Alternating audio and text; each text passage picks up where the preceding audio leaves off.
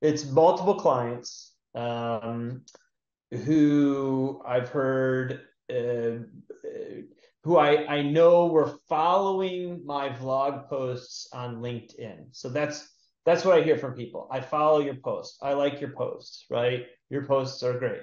And um, of course, I love hearing that. Uh, and uh,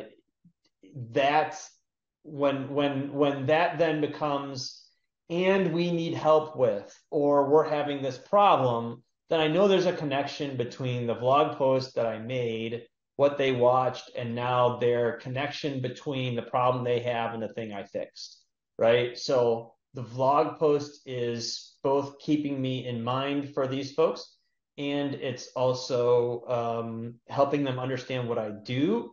Um, I, you know, I, I usually have a good relationship. Like, like one of the people um, that I think will be a, a, a significant client next year as well. Um, I had only talked to her once, and then I hadn't talked with her in four years.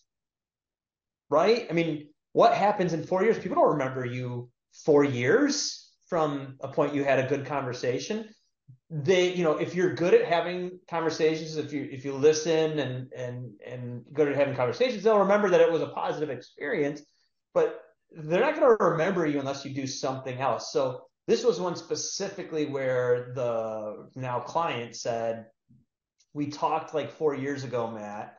I've been following your vlog posts for the last however long i've been doing them two or three years of that four. And uh and I'm at this new company now, right?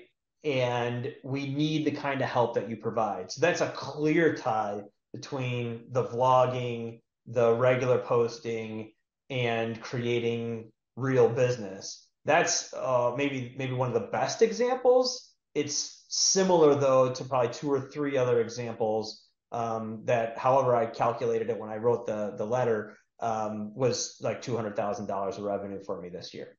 So it's a big deal.